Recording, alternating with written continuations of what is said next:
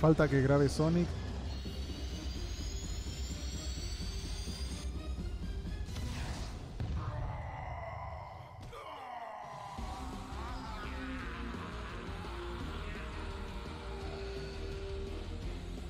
Son todas voces de prueba.